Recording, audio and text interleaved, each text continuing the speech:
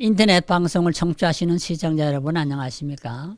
오늘은 성경 퀴즈 어, 주간 필라에 나온 성경 퀴즈 93회 구약 성경 아모스서를 퀴즈로 풀어보는 은혜로운 시간이 되겠습니다. 아모스서의 저자는 선지자 아모스입니다. 아모스란 선지자 이름의 뜻은 매는 자라는 그런 뜻입니다. 아, 아모스는 유대 지파 드고아의 목자 출신입니다. 양떼를 몰고 다니는 목동이었습니다. 성경에 나오는 또 다른 아모스는 있는데요. 그는 강하다는 뜻을 가지고 있습니다. 아, 그는 이사야 선지자의 아버지 선지자 이사야의 대선지인데요. 그 선지자의 아버지 이름이 또 아모스로 나오지요. 아모스를 기록한 아, 아모스는 용기와 담대함을 가진 자라고 성경은 기록하고 있습니다. 아모스서를 기록한 연대는 주전 750년경입니다. 아모스서의 총 제목을 붙인다면 하나님을 배반한 자에 대한 공의의 심판이라. 하나님은 죄악을 철저히 심판하는 것을 아모스가 잘 보여줍니다. 아모스서를 기록한 목적이 무엇입니까? 하나님의 공의의 심판은 범죄하고 부패한 민족에게 반드시 임함으로 30년 후에는 이스라엘이 망하게 된다는 것을 강하게 아모스서는 기록하고 있습니다. 아모스를 3대지로 어, 나누면 1장, 2장은 세상의 죄와 벌에 대해서 말을 합니다. 죄는 반드시 벌을 받습니다. 그 다음에 3장에서 9장 6절까지는 이스라엘에 대한, 이스라엘에 대한 견책이 기록되어 있습니다. 아, 하나님은 죄를 지는 자를 책망하시죠. 그 다음에 9장 7절에서 15절 마지막 부분에서는 이스라엘의 영광스러운 미래를 가르쳐 줍니다. 아, 한민족이 범죄했다고 소망이 없는 것은 아니고 아, 견책하시고 징계하신 이후에 돌아오는 백성에게는 영광스러운 미래를 보장시켜 주는 것입니다. 현실이 깜깜하고 답답할지라도 우리는 자신을 정결케 함으로 영광스러운 미래를 바라볼 수 있도록 해주는 아모스를 통하여 우리의 비전을 가져야 할 것입니다. 아모스서 요절은 5장 4절에 있는데요. 여호와께서 이스라엘 족속에게 이르시기를 너희는 나를 찾으라 그리하면 살리라. 여호와를 찾는 것이 삶의 원리가 되는 것을 말합니다. 사람이 돈 벌어서 잘 살 수도 있고요. 명예를 얻어서 잘 살 수도 있지만은 여호와를 찾을 때에 참된 삶의 길이 있다는 것을 잊어서는 안 되겠습니다. 이제 오늘은 아모스서 1장에서 9장을 퀴즈로 풀어보는 시간이 되겠습니다. 이 예, 퀴즈와 문답을 통해서 또 해설을 통해서 여러분은 축복의 통로를 발견하시기를 바랍니다. 아, 여러분 항상 주간 필라를 보시고 또 퀴즈에 답해서 어, 인터넷 방송국으로 보내주시는 분들에게는 또 시상도 어, 있습니다. 그래서 여러분은 꼭 먹고 알 먹는 것이죠. 다 성경 공부도 하고 또 상도 받고 좋은 길을 알려해 드립니다. 1번 퀴즈. 아모스 선지자의 직업은 무엇이냐고 했는데 목자 농부 상인이랬는데 1장 1절을 보면 그런 아, 목축업을 하는 목자랬다 그랬습니다. 목자가 무슨 선지자가 될 수 있냐 하지만은 목자든 농부든 상인이든 할 것 없이 하나님이 부르시면은 하나님의 일꾼으로 쓰임을 받을 수가 있습니다. 아, 베드로는 어부였죠. 그러나 예수님의 사도로 일하는 걸 볼 수 있고 세리는 세관에 있는 어, 어, 세금을 징수하는 사람이지만 그래도 되고 누가는 의사지만은 그래도 부름 받으면 예수님의 제자로 될 수 있죠. 그러니까 어떤 직업을 가지든지 하나님의 부름을 받는 사람은 하나님의 일꾼의 자격을 가지고 일을 할 수 있다는 것이죠. 2번 두로는 무슨 죄로 하나님의 형벌을 받게 되었나요? 했는데요. 재물을 탐한 죄, 성적인 범죄, 형제에게 분노한 죄 했는데 1장 11절에 보면은 3번이 정답입니다. 형제에게 분노한 죄. 아, 형제를 사랑하라 이랬는데요. 형제에게 분노를 했다. 아, 이것도 죄가 되고 어, 어, 하나님의 심판의 원인이 된다는 것을 우리는 기억하므로 형제를 사랑하는 자들이 되어야 되겠습니다. 3번 아, 암모는 무슨 죄로 하나님의 형벌을 받게 되냐는 1장 13절인데요. 불의한 죄, 부정한 죄, 임산부를 죽인 죄 이랬는데 3번이 정답이 됩니다. 1장 13절을 보면은 임산부를 죽였다. 어, 아이를 잉태한 여인을 죽이는 것도 하나님의 형벌을 안문족이 멸망을 당하는 그런 어, 죄악인 것을 볼 수가 있습니다. 공의의 심판은 이렇게 다양한 면의 죄악을 심판하는 것을 볼 수가 있습니다. 아, 이제 두로와 암몬을 했는데 요다 모압이 나오는데요. 모압은 무슨 죄로 하나님의 형벌을 받게 되냐 했는데 어, 뼈를 불살라 죄를 만든 죄, 살인죄, 불신앙죄 이랬는데 2장 1절을 보면은 뼈를 불살라 죄를 만든 죄라 이렇게 했습니다. 어, 이렇게 사람을 잔인하게 불살라 죄를 만들어 버린 것도 하나님의 형벌을 받게 된다고 모압 족속에 주어진 형벌을 내용을 가리킵니다.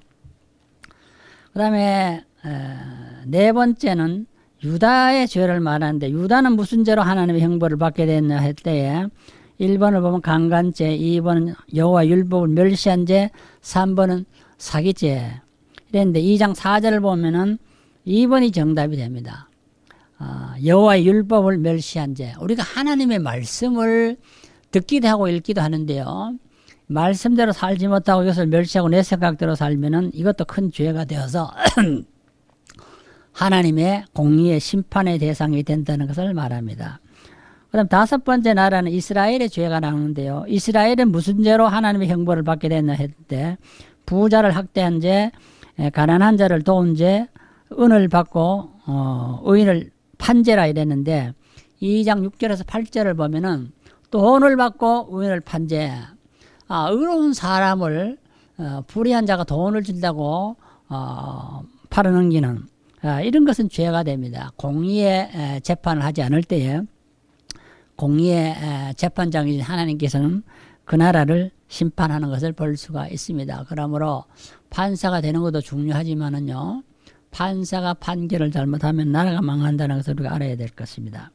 7번 퀴즈. 하나님은 모든 민족들 중에 누구만 알았나요? 했는데, 이스라엘, 애굽, 바벨론 이랬는데 3장 2절을 보면은 이스라엘이라. 하나님은 모든 민족 중에 특별히 이스라엘을 선택하시고, 어, 모든 민족들 가운데 이스라엘을 특별히 에, 사랑하셨다는 것을 기록하고 있습니다. 8번 하나님의 비밀은 먼저 어, 누구에게 봉사 어, 보이시나요? 이랬는데요. 어, 비밀을 누구에게 보이시냐 할 때에 서기관 제사장 선지자 이랬는데 3장 7절에 보면은 선지자에게 하나님의 비밀을 먼저 어, 보이신다고 기록하고 있습니다. 9번 이스라엘 자손들은 누구를 위해 11절을 드렸나요? 했는데요. 자신들의 기쁨을 위해 교회를 위해 하나님을 위해 했는데 4장 4절에서 5절을 보면은 자신들의 기쁨을 위해서 11조를 드렸다.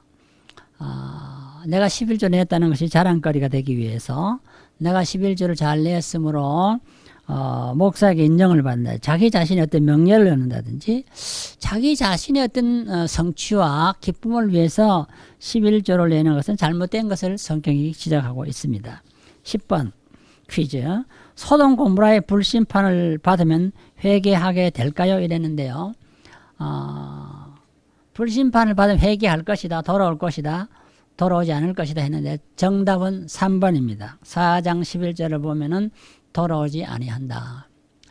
불심판을 받아 타 죽어도 돌아오지 않았던 것이 소돔 고무라의 죄악상이라고 말합니다. 우리는 하나님의 적은 징계를 받을 때에도 빨리 깨닫고 회개하면은 불심판을 면하지만은 어, 징계를 받고도 견책을 받고도 돌아오지 않으면은 결국은 소돔 고무라처럼 완전히 에, 남녀노소 빈부귀천을 막론하고 다 불에 타 죽는 엄청난 형벌을 받게 될 것을 말합니다.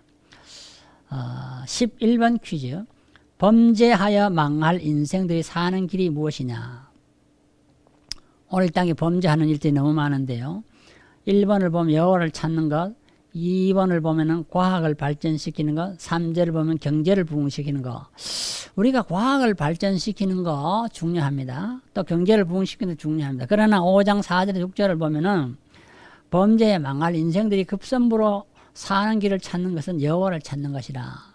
그 신앙이 우선돼야 됩니다. 뭐를 하든지 과학을 하든지 경제를 부흥시키는 간에 여호와를 찾는 신앙을 잃어버리면 그건 소동 고무라가 되지요. 어, 그러므로 우리는 먼저 신앙 우선주의로 살아가야 합니다. 사업 우선주의, 공부 우선주의로 살아서는 안 된다는 것을 성경은 말해줍니다. 12번 선지자가 성문에서 죄를 책망하면 무엇을 받게 되나요? 했는데요. 인정을 받는다, 사랑을 받는다, 미움을 받는다 했는데 5장 10절을 보면 3번이 정답. 미움을 받는다. 선지자들이 하나님의 계시를 받아서 성문에서 백성들에게 하나님의 메시지를 증거하면은 백성들이 그 말을 달게 받지를 않습니다. 그를 인정하지도 않습니다. 오히려 그를 미워하게 된다는 것입니다. 그러므로 올바른 진리를 선포하는 사람은 백성들에게 미움받기 때문에 항상 순기적인 정신으로 진리를 선포해야 된다. 세상과 타협해서 적당주의로 복음을 전해서는 안 된다는 것을 성경은 가르쳐 줍니다. 13번 부정부패가 극도에 달할 때 누가 잠잠하게 되나요? 했는데요. 정치인, 재판관, 지혜자 5장 12절에서 13절을 보면은 지혜자가 잠잠하게 된다. 부정부패가 극도에 달할 때요. 어, 정치가들도 떠들고 재판가도 떠들지만은요. 지혜자는 잠잠하다. 왜요? 너무 부패하기 때문에요. 아무리 바른 소리를 해도 듣지 않으니까 지혜자들이 말을 못하 잠잠하게 될 것이라 그랬습니다. 14번 퀴즈 악한 시대에 우리가 사는 길은 무엇이냐 했는데요. 불의와 가는 것이다. 악을 구하는 것이다. 선을 구하는 것이다. 5장 13절에 보면 14절에 보면은 선을 구한 것이다. 세상이 아무리 부패하고 악하게 될지라도 우리가 사는 길은 어, 그대로 쫙 해서 세사 약하니까 나도 악하게 살아간다. 막 그렇게 해서는 안 되고요. 우리는 정반대의 길을 어, 걸어가야 됩니다. 세상이 아무리 약할지라도 우리는 선을 구하면서 선하게 살기 위해서 몸부림치는 어, 성도들이 되어야 한다는 것입니다. 15번 어, 성회와 모든 제사를 왜 하나님은 받지 아니하시나요? 했는데요. 어, 거룩한 집회 예배가 모이고요. 어, 재단에 모든 재물이 헌금으로 재물로 바쳐지지만 하나님이 받지 않는 것이 있다. 왜 그럴까요? 화목제가 없기 때문에 하나님과 화목하지 않기 때문에 두 번째는 공의와 정의가 없기 때문에 세 번째는 번제가 없기 때문에 번제는 완전한 어, 희생을 말하는데요. 자, 5장 22절 24절을 읽어보면은 공의와 정의가 없기 때문에 예배는 잘 드리는데 우리 삶의 현장에서 의롭게 살아가지 못하면은요, 그 아무리 주일 예배가 잘 거룩하게 진행이 되어도 하나님이 그 예배를 받지 않는다. 교회 안에서는 신자고 교회 밖에서는 불신자처럼 살면은 안 된다는 것을 말합니다. 우리의 삶은 교회 안에서의 삶이 세상에서 연속적으로 지속이 되어서 어두운 세상을 밝히는 빛의 사명을 소금의 사명을 감당해야 할 것을 말하고 그렇지 않는 자의 예배는 그렇지 않은 자의 재물은 하나님이 받지 않는다고 말을 합니다. 16번 환충, 황충과 불심판에서 어떻게 구원을 받게 되었나요? 이랬는데요. 재난 대책을 세움으로 백성들의 회개로 선지의 기도로 했는데 7장 1절에서 6절을 읽어보면 3번이 정답입니다. 우리가 여러 가지 천재지변을 당할 때에 재난 대책을 뭐 잘 세운다고 그 천재지변을 면할 수가 있겠습니까? 아무리 세워도 안 되지요. 어, 백성들이 회개도 안 되고요. 이때 보면은 7장 1절에 6절을 보면 선지자의 기도로 지도자들이 먼저 회개하고 하나님을 바로 섬으로 어, 구원을 받게 된다고 했습니다. 어, 지도자의 책무가 너무 귀중한 것을 가르쳐 줍니다. 선지자는 언제나 죽음을 각오하고 바른 소리를 외쳐야 합니다. 17번 아모스는 무엇을 하다가 선지자를 받았나요 했는데요. 양떼를 따를 때, 기도할 때, 예배할 때 이랬는데 어, 보통 사람들이 부흥에 가서 뭐 예배드리다가 하나님 부름을 받았다. 금식 기도하다가 부름을 받다 하는데 여기는 보면은 7장 15절에 양떼를 따라서 목동 생활을 열심히 하고 있을 때 하나님이 그를 불렀다. 그래서 우리가 선지자로 부름을 받는 거, 사도로 부름을 받는 거, 목사로 부름을 받는 것이 꼭 뭐 산중 철학기도 해가지고 금식기도 해가지고 뭐 부흥에 참석을 받는 것이 아닌 것을 볼 수가 있습니다. 구약의 선지자들이나 신약의 열두 사도들의 부름받는 보면 다 삶의 현장에서 열심히 일할 때 그 현장에서 부름받는 것을 우리는 볼 수가 있습니다. 그 다음 어, 양식과 물이 부족하게 됨의 원인이 무엇이냐 했는데요. 농사기술 부족으로 여호와의 말씀을 듣지 못함으로 기근으로 인하여 양식과 물이 없는 것은 기근도 원인이고 농사기술이 부족한 것도 원인이 되겠지만은 8장 11절을 보면 정답은 2번입니다. 여호와의 말씀을 듣지 아니하면은 양식도 떨어지고 물도 떨어진다는 것입니다. 아, 영적인 진리를 잘 깨닫지 못하니까 하나님 육적인 재앙을 통해서 영적 진리를 깨닫게 하는 모습을 보게 됩니다. 19번 회개하지 않는 백성들에게도 복을 내리시나요? 했는데요. 어, 화를 내리신다 복을 내리신다 하나님은 사랑이시다. 어떤 사람은 하나님 무조건 복을 주신다. 어떤 사람은 하나님 무조건 사랑이다. 이래서 마음이 구원을 한다. 이런 생각하는데요. 9장 4절을 읽어보면 회개하지 않는 백성들에게는 하나님이 화를 내리신다. 징벌하신다. 이렇게 했습니다. 내가 하나님의 화를 받지 않으려면 항상 자신을 살펴서 회개하고 성결된 삶을 살아가야 할 것입니다. 내일 죽어도 문제가 없어야 되겠죠.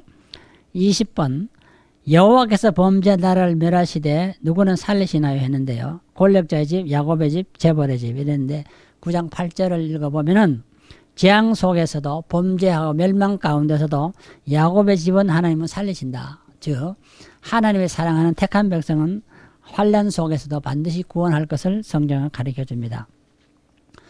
오늘 우리는 공의로 각 나라를 심판하시는 하나님의 공의 심판을 어, 생각하면서 이 죄악 속에서 방황하는 백성들이 멸망을 당할 때 어떻게 하면 삶을 얻게 될는지를 우리가 아모스를 어, 서를 통해서 우리가 퀴즈로 풀어보았습니다. 아모스는 1장에서는 어, 다섯 나라를 심판하는 모습을 봤고요. 2장에서는 모압, 3장에서는 이스라엘에 대한 형벌을 선포하는 것을 보았습니다. 어, 모든 나라들이 형벌의 대상이 된다. 죄를 짓는 나라는 어, 하나님이 어느 나라도 봐주지 않는다.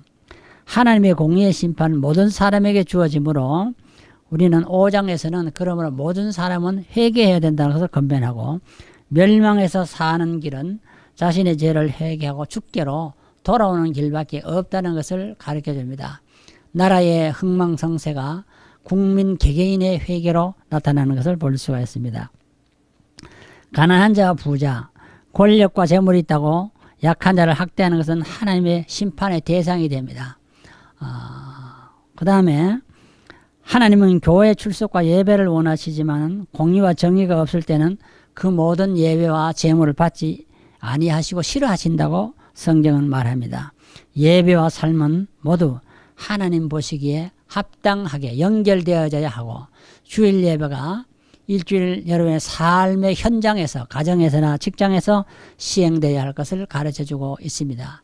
실천하는 신앙으로 한 주간도 승리하시고 하나님의 은총을 받으시기를 축원합니다. 감사합니다.